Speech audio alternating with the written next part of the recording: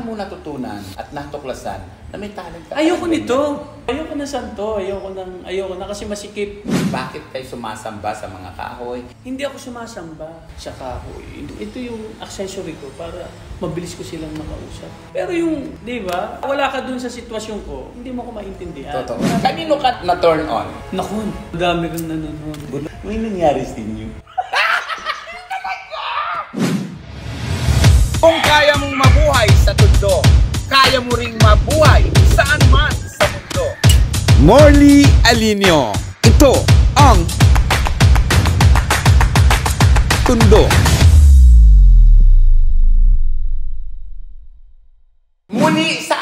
Pagbabalik dito sa Paete, Laguna. Well, para puntahan ang isa sa mga kaibigan natin at silipin na rin ang isang regalo mula sa kanyang puso. Pero bago natin pag-usapan kung ano itong regalo na ito, aba, kausap po natin ngayon, kasama po natin ngayon, ang kinilalang prince ng mga sexy actor ng kanyang mga kapanahunan. Well, please welcome Leandro Baltimore. Yeah! Welcome back, Morley. Uh, sa oras mo na pasyal ka ulit dito sa Paite. Ang sarap bumalik dito sa Paete. Parang feeling ko lalo kang naging gwapo. Kumusta ka na? Perfect. Ano na mga pinagkakabalahan mo? Nagpe-prepara ako dun sa magiging uh, regular na taping ko sa siguro December sana. Sana, Mm-mm. sana masimula. Sa GMA ito. Sa GMA7. Ano ito? Drama? Action? Drama panghapon. Sana, sana. sana. Pero tuloy-tuloy pa rin ang uh, showbiz career mo, of course. Yes, sana. At saka hindi ko pababayaan. Yung gawa ng malaking bagay doon sa hanap buhay ko. Pelikula? Kagagawa lang namin ng pelikula. Yung Kuya with Direct Posadas. Okay. Kumusta na ang isang Leandro Baldimore bilang isang tatay, bilang isang asawa, bilang isang anak? Bilang isang tatay, siyempre nagbibinata, nagdadalaga na yung aking mga anak. Mm-mm. Maraming mga pagbabago na. Mhm. Hindi na katulad dati na kalapit mo lang, humingi ng dede. Ngayon, Mhm. mga teens na sila. So Mhm. sa akin, marami ng bawal. Mhm. Siyempre, dapat susupilin mo yung mga hindi tama kasi Mhm. ma- madadala nila nila yan dun sa paglaki nila. Ngayon, bilang asawa naman, marami ng pagbabago. Kasi unang-una, medyo may edad na rin ako. Nagsawa na rin ako doon sa mga pagimik-gimik sa labas. Shashat ako ng konti dito na lang sa bahay. At bilang anak naman, lagi rin naman kami nag-uusap ng nanay at tatay. Minsan doon ako sa kanila. Tatawid lang naman ako eh. Nandun na yung bahay nila. Kung matatandaan po natin, April po nung huli akong pumunta rito sa bahay ni Leandro Baldimore. At bago po ako umalis, ay may isang pangako si Leandro. Igagawa niya ako ng isang santo, Jesus Christ. Kumusta na yung Jesus Christ? Kwento mo naman ako kung paano mo siya ginawa. Di ba nagkikwentuhan tayo, sabi mo kasi sa akin na uh, gusto mong kabasa kasi iba rin yun na meron akong uh, alaala sa iyo. Oh. Ah. Tsaka congratulations nga pala dahil doon sa ating interview nung nakaraan, di ba? Half million yung... Ay, half Oh. million talaga.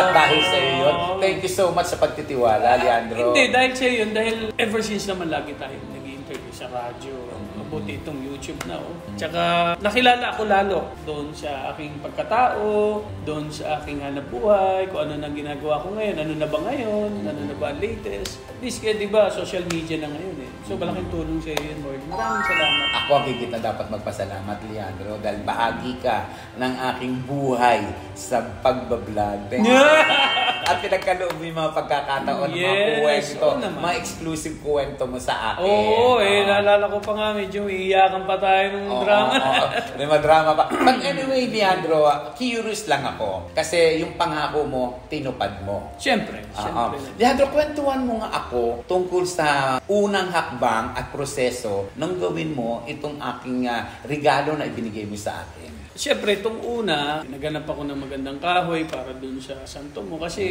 sa akin kasi, pag gumagawa kami ng santo, ay iniisip namin na maging perfect na yun. Sabihin, panghabang buhay na, kaapu-apuhan mo na, mapakinabangan pa rin. Pero depende pa rin sa pag-iingat ng obra. Katulad nitong ginawa ko sa iyo, pinag-isipan at saka talagang tinutukan. Ultimo hanggang kahoy, hanggang sa pintura, minumuti-muti namin. Dahil Ano? yung pagmamahal namin. Oh, anong kahoy ang ginamit? Batikuling wood. Batikuling. Tapos hardwood yung base niya. Unang-una, hindi siya aanayin. Pangalawa, yung balanse nung mabigat kasi yung ibabaw. Mm. Eh. So, dapat yung ilalim medyo mabigat para balanse yung kanyang. Ilang linggo, araw, Buwan. buwan? Ilang buwan yung, mo itong ginawa? ah, simula nung nag-start kami, nung sinabi ko sa iyo, mag-start na kami next week. Ang pinakamahirap kasi yung tuyuan eh. Papatuyo ka, lalagay mo sa tubig. Yung mga technique namin para matuyo yung kahit dryer mo. Paano pag isasawsaw mo sa tubig, ibababad sa tubig? Tapos ilang buwang ibababad yan? Meron, hindi naman, hindi naman buwan. Yung kasing dakta ng kahoy, dapat mawala dun sa mismong loob ng kahoy eh. So, kailangan mong ibabad. Yun yung napag-aralan ko na medyo effective naman. Bababad ko yung tubig. Mga ilang araw itong pagbababad na? Siguro, mga 5 days. Five days na Hanggang bababad. 1 week na para... Ano yan talaga super babad Hindi, na ba- babad doon siya? kasi may palaisdaan ako dyan eh. Mm. So, hindi na ako para mag-ipon pa ng tubig. Ah, doon mo na lang Hindi ilalagay. Na-dive na lang namin. yun Okay, doon sa- tapos? Tapos, oh, kabila naman. Di ba yung harap, oh, kabila naman. Tapos doon, ahunin, lalagay naman sa dryer. Ano ang dryer dito? Yung sunrise na lang or what? Hindi, iba pa yon. Mas maganda, i-dryer mo talaga para yung dakta naman na ano matutuyo na yung doon sa loob. Ato meron kayong machine na pang dryer? Wala naman, meron kaming parang kinulob na kwarto na may apoy sa ilalim para pausukan ng po. Parang yung mga pagkain smoke, yung karne, pinapausukan yung... Ah, parang ham. Parang ganon, nakaibabaw yung kahoy, tapos nasa ilalim yung apoy.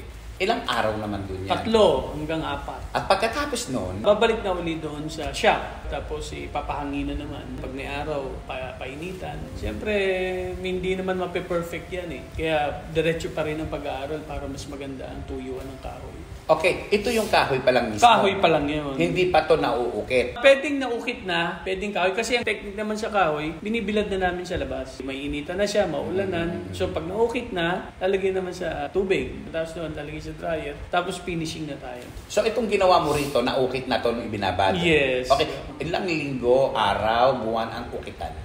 Siguro mabot na mga 3 weeks. Ikaw ang nag-ukit. 3 weeks. Tatlo kami. Tatlo kayong Ako kasi nagdi-detail na lang ako. Eh, ba, may nakita ako dito.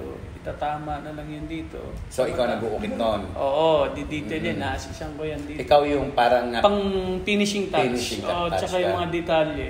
Minsan kasi hindi nakikita. Para ka nagpipinta lang yan eh. Mm. Pag nagpinta ka ngayon, bukas, iba na naman tingin mo dun sa pinipintahan. uulitin mo ulit o dadagdagan Iba na naman, iba na naman. Hanggang masatisfied ka na. Kaya malala makikita mo, yung mga detalye niya, eh, buhay na buhay. Kasi talagang tinututukan. Leandro, ilang araw, ilang linggo, ilang buwan mo naman pininturahan yan? Madali lang yung pintura kasi dapat yan, ang pintura ay 7 days pag inano mo. Yung oras, panahon. Kasi hindi naman, pag binibitawan ko, hindi ka naman nagmamadali. Di ba? Sabi ko siya, wag mo mamadali. Ano namang pintura ginagamit? Oil, oil. Hindi ba pwede mapintura sa bahay? Depende rin sa ibang artist, kasi ibang artist pwedeng gumamit ng mga ganon.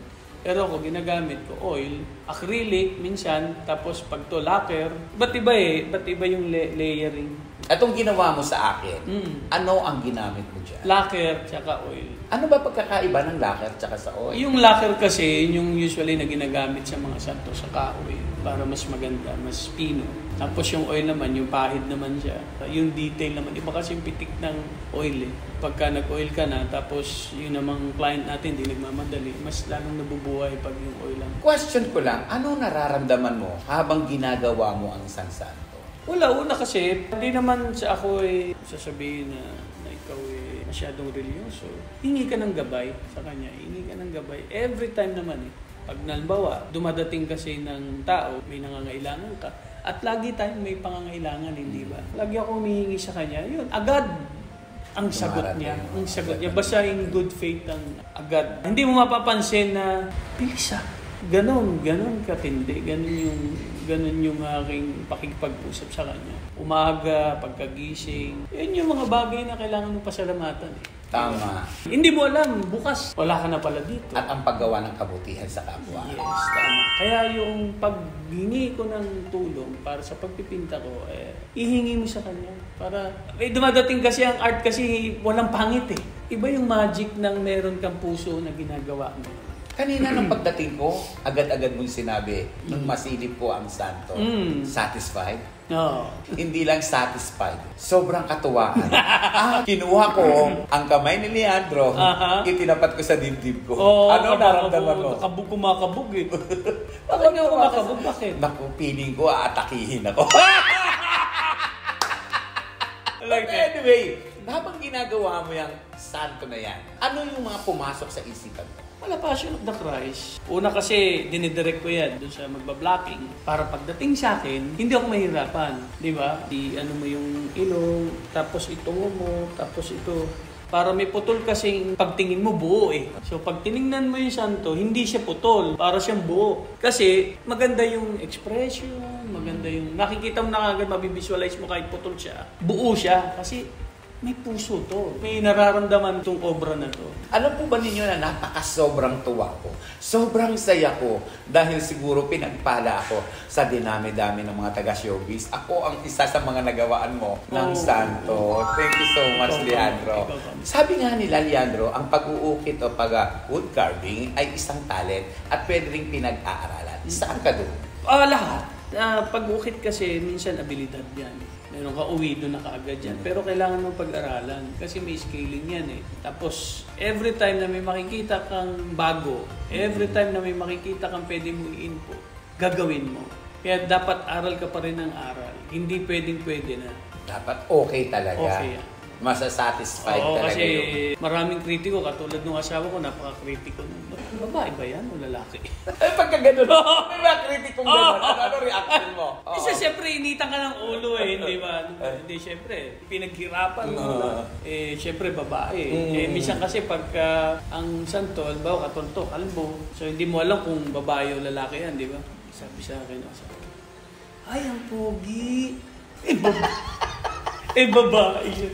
Sabi ko, gaga babae to eh. Kung lalaki yan dyan. Hindi pwede yan. Palitan mo. Bago, bago. Nag-aaralan Doon ang magsisimula. Ano ang diferensya? Kasi mahirap gumawa. Hindi basta yan inukit eh. Kasi dapat makakita ng tao na, oh, ang ganda nito.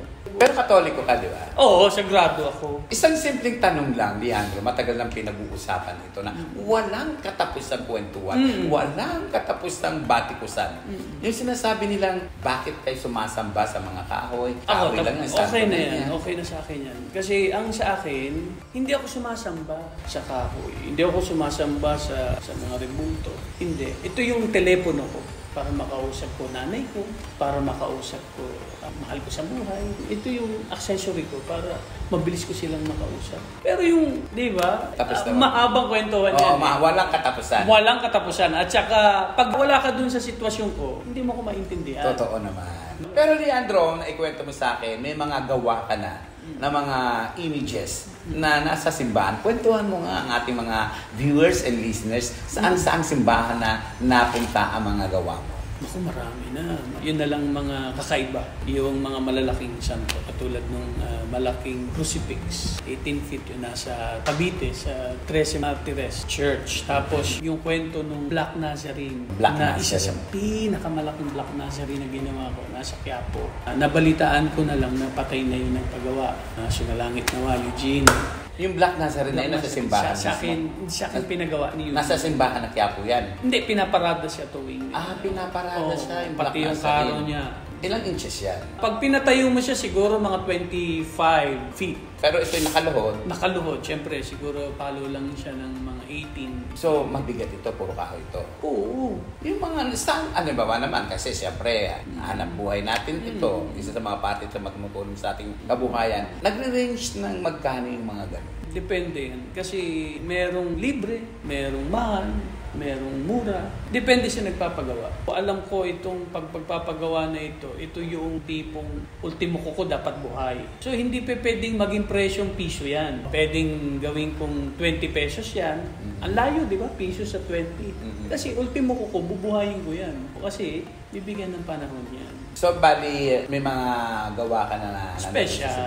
Meron. Marami na. Marami. Marami, na. Siguro Luzon, Visayas at Mindanao. Pumalat na yung gawa mo. Luzon. Kailan ka nag-start niyan? Kung kwentahin natin, siguro 15 to 16 years na akong nandito sa pinagpuhunanan namin ng pamilya ko, asawa ko. Yung kasing hanap buhay na ito, simula kasi bata pa ako, ito na eh. Paano mo natutunan at natuklasan na may talent ka? Ayoko nito. Ayoko na santo. Ayoko nang ayoko na kasi masikip. Pakiramdam ko noong panahon na yon, masikip na ang kahoy dito sa Paite. Masikip na. Ang dain na eh. Kaya sabi ko, hindi na ako magkakaroon. Yung pala, ito yung linya ko. Kahit na anong gawin mo kasi ang dahil kong sinubukang hanap buhay. Chicharon ako, isda, manok, lahat. Sinubukan ko, restaurant, lahat. Hindi talaga ako makapasok sa ano. Eto na, nagdasal ako. Sabi ko, Lord, sige ganito. Kinausap mo So, yung Jesus kinausap Christ. ko siya. Hindi, At kinausap ko siya. Wala pa, dasal lang ako. Dasal kasi ka. nagtataka ako bakit wala ako napupuntahan sa paghahanap buhay ko. Kasi masipag ako eh. Walang nakakapigil sa akin kasi meron akong gusto gawin. Okay. Eto na.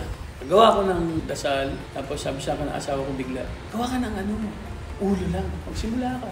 Hindi nga eh. Kasi lagi ako may kaaway pag furniture, lagi ako may katalos na kliyente kasi nagkakrack yan. Ang hirap. So hindi parang hindi sa akin. Eto na, nagsimula na ako doon sa ulo. Ang nagbigay nga sa akin si Mrs. Pereja sa taga Iloilo ng break. Ang laking break ang binigay sa akin dahil lang sa isang ulo. Dahil pasalamat din ako sa anak niya, nagpunta yun dito. Isang ulo lang nakita niya. Sa ulo lang, hindi pa nga tapos yung ulo eh. Ah. Wala, nagtaka ako, ang laki ng order sa akin. Ko, Lord, thank you. Ito na yung signal. Mahana ka doon sa lolo mo. Hmm. Na ang pangalan ng lolo mo? Viner Baltimore. O, nakuha mo yung talent niya. Siguro sa pagninegosyo, sa diskarte. Siya yung kinilala rito. Oo, na unang nag-ano sa kahoy talaga. Ano bang kahoy yung pinakamaganda? Depende sa pag-iingat mo, depende lahat. Lahat maganda ang Pati kahoy. mga, pero pero parang pinakamahirap yata ukitin yung mga yakal, nara. Oo, kaya yung kahoy, iba, mahal ang kahoy eh. Mm-mm. Lalo pag antigo na. Kaya talagang sabi ko nga, pag nakapag-ipon ka ng kahoy, para ka na nag-ipon sa bangko. Pero minsan dumarating yung punto na nagbibitak siya eh. Ano ginagawa yun? Madali lang yun. Kasi unang-una, depende sa um, image mo, depende sa obra mo. Okay lang magbitak yan. Kasi minsan nakakaganda pa yan dun sa... Bitak, ano? Yes, oo. nakakaganda pa yan dun sa iyong bitak. santo mo. Halimbawa, ang finish ng santo mo is antique. Pag nagbitak yan, ang ganda nun. Eh, antique nga yung santo mo, eh, bakit parang candy?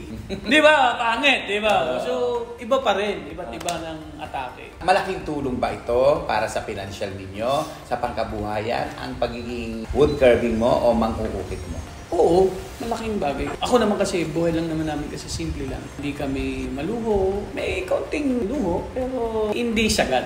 Tamang-tama lang sa pamumuhay. Kaya itong paghanap buhay namin, may kaunti, may, may kaunti ka na itutulong. Malaking bagay para sa amin. Leandro, alam ko maraming nanonood, maraming nakikinig, nakatutok dito sa ating programa Naku, o sa ating vlog. Milyon-milyon! Milyon-milyon Pilipino!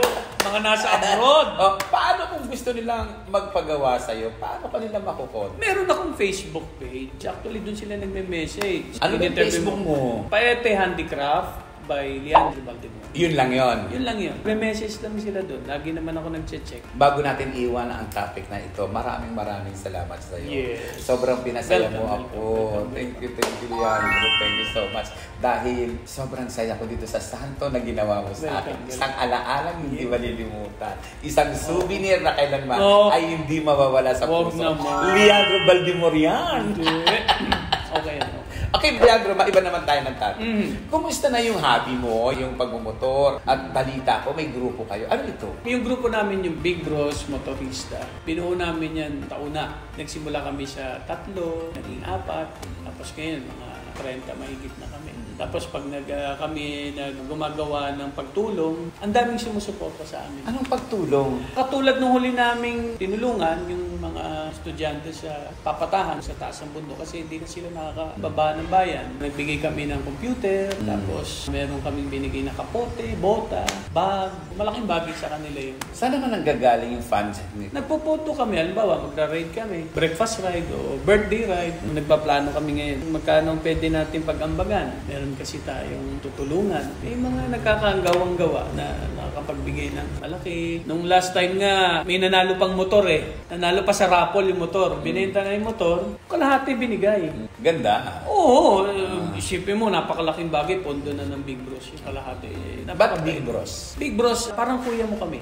Building bridges, parang gano'n. Kuya mo kami, natutulong sa inyo. Kaya Big Bros Motorista Building Bridges. Yung ibig sabihin ng building bridges, yun yung magbubuo kami ng tulay para maabot ka namin. Ilan kayo dito? Mga 30 na mahigit. Saan saang lugar na kayo nakapunta? Ang huli namin napuntahan Mindoro. Bicol, Bigan, Ilocos, eh, marami na. Buong Laguna, nalibot na namin yung mga lugar na pwedeng puntahan ng turista. Lahat, halos lahat. Ang plano namin, buong Pilipinas. Marating namin Cebu, Mindanao. Paano ka makiging member nito? Open Simple ba lang naman. Open ba ito? Open lang, open lang siya. Kasi simple lang naman eh. Ang rules lang namin, makaride ka ng isang short ride tsaka long ride. Ano yun? Short ride, halimbawa, breakfast ride lang, makasama ka sa amin. Wala kami hingin fee. Walang string na tatali ka namin. Hindi, wala. Kung gusto mo sa amin, gusto mo sa amin. Basta kami, magra-ride kami, happy kami. May qualification ba dyan? Usually kasi, ang motor na sasali sa amin dapat 400cc up. Mm. Gawa ng paglabas namin ng highway, hindi ka makakapasok kasi kung mababang cc ka. Ay, mga 150, 120. Oo, hindi ka makakapasok yun. ng Yung ginagamit sa joyride, Mm, madalas. Hindi pa pwede. Kang makapasok sa... Ako lagi ako nag-joyride. Oo. Oo.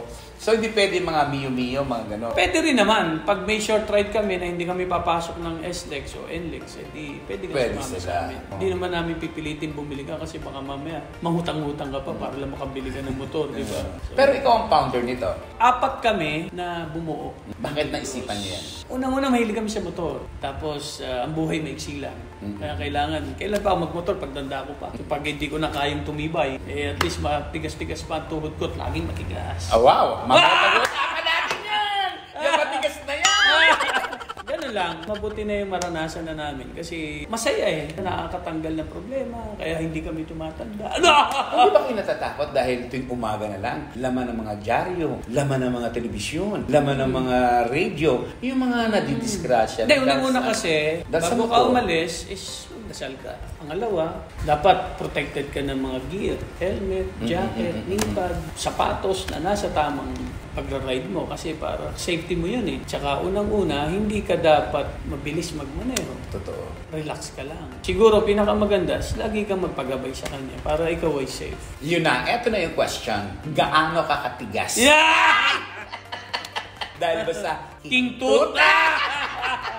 Nga lagi ako nagpo-pose sabi ko, ito hindi ako mapapaya. Yun ang lagi sabi ko sa kanya, sabi ko sa inyo, hindi ako mapapaya. Laging tigasin. Always your top to. Anyway, bilang isang endorser ng King Tooth, kumusta na? Okay. At meron na tayo sa Mercury, yung King Tooth. So, approved na tayo sa BFAD. Na syempre, hindi ka mapapasok sa Mercury pag Mhm. ano. Kaya malaking bagay itong King Tooth eh. Ah. Kasi talagang ano, yun nga raw, meron nagsabi sa akin eh, yung matagal na natutulog daw ang kanyang alindog at ang Mm. mga ugat niya, eh nung nakainom daw ng King Tooth, nabuhay muli. Eh, para siyang kumawala, para siyang isang pagong Talaga? na lumabas uli ang kanyang Ah. katawan. Hindi ko na kaya to. Leandro, Oh. i-King Tooth mo.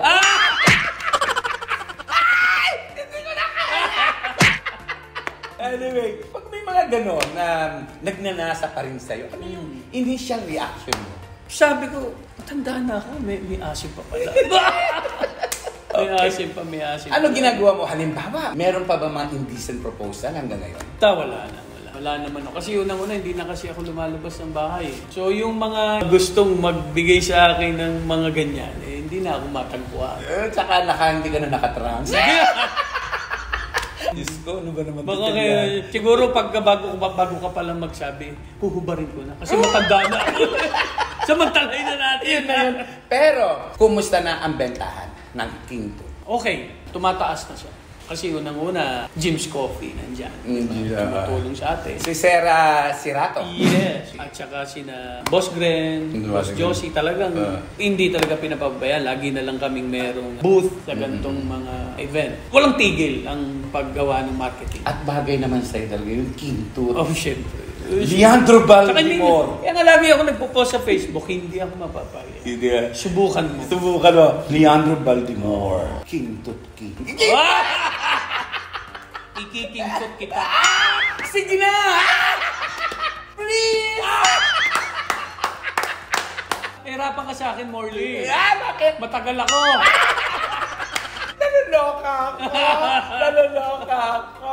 Pero Leandro, sa totoo lang, sa dinabi-dami ng tinakbo ng buhay mo, ikaw ba ay kontento sa takbo ng buhay mo ngayon bilang isang Leandro? Oo. Ah, kontento, kontento. Kasi wala akong dapat pagsisihan. Kumbaga, lahat ng nangyari sa buhay ko, ginusto ko naman. Wala akong napilitan o nagkabiglaan. Walang ganun. Kasi pinag-aaralan ko talaga. Tsaka lagi ako nagtatanong sa nanay ko, sa tatay ko, ano maganda. Kasi walang masama magtanong eh. Kasi unang-una yung mga nakakatanda sa'yo, napagdaanan na yun eh. So wala kang magtanong. Kasi pag may mga bagay akong gustong matutunan, gusto ko magsimula ng parang zero. Kasi pag zero ka, lahat ng detalye nun, makukuha mo. Hindi, ano ko na. Ganito lang yan. So meron ka pang makakalitaan doon. Ngayon, kung talagang desidido ka, zero ka. Malaman mo zero. Kung sa start sa zero para alam mo kagad yung mga detalye. Magtanga-tangahan ka o ano, kailangan maging tanga ka muna para alam mo yung pupuntahan mo. Totoo naman yan. Di ba? Dapat malaman mo yung unang detalye, yung unang Yes. hakbang bago ka humakbang Oh, kasi pag, sunod. pag, pag ano kasi, ano ko na to, lalaktaw ka. Babalik ka Eh, paano kung, ay, pinalimutan ako. Eh, nako, Babalik yun na, pagsisisi mo na yun. Leandro, ngayon kasi sa panahon ng makbagong henerasyon, uso pa rin yung pagpapasexy. Marami pa rin mga artistang lalaki at babae na nagsisipaghubad, Mhm. particular na sa mga Viva Max. Yes. Noong mga panahon ninyo ng pagpapasexy mo, sa tingin mo, ano ang pagkakaiba nyo sa mga panahon ngayon na nagpapasexy yung mga kabataan? Ako ah, yung, kasi yung pelikula ko noon, wala namang penetration kami. Hindi ko naman sinabi. Hindi ka ba nagpene? Wala. Pero parang lang. Wala, wala. Walang, Pumping. walang pumping. Wala rin akong pumping ba nun? Okay. Wala nga akong hawak sa boobs. May panghihinayang. Wala akong dila. Malaki panghihinayang. Sabi ko kay boss Rob. boss, ba't ba't ka palang ganun? At tapos? Hindi, kasi yung atake naman kasi sa Seiko Films nung kami, sexy comedy eh. Yun yung mga atake, oh, natanggal yung bra, yung mga ganun lang. Rico Mambo eh. Mga touch ni Rico Mambo, yung mga comeding pa-sexy na tatamaan ka eh. Yung magaling si Direk Rico Mambo. So, ang layo ng pagkakaiba. Hindi siya malayo, kumbaga yung kasing mga nagawa kong pelikula, eh, iba dun sa pelikula ngayon. Comedy yung sa akin eh. Pero sina ano, 'di ba, nakakapareha mo si Natasha Ledesma, Mm. Priscilla Almeida. Of course si Osang mabilis sa iyo, Mm. lagi si Osang. Sina Puki Moreno. Puki. Puki Moreno. Puki Moreno. Puki Moreno. May Puki Moreno ba? Mayroon. May? Perez. Oo. Sumikat yun. Mga pelikula. mga pelikula. Sinichika mo ako, Puki Morena? O Puki Morena. P-O-O-K-E-Y. Puki Morena. Naging leading lady ko yun. May ganun. Oo. Bruce Robbie pa. o tapos, Oo. may Puki Morena. Oo. Sina Lina Perez. Oo, Lina Diba, Perez. Wala na. Sumangalangit. Mm. Sumalangit nawa. Marami. Marami. Kanino ka na turn on? Naku. Hindi ko nasasabihin. Bulong mo lang. Madami kang nanonood. Bulong mo lang, bulong mo. May nangyari sa inyo. Wala! Ako bumigay. Tapos Sa bumigay din siya? Hindi, hindi siya bumigay.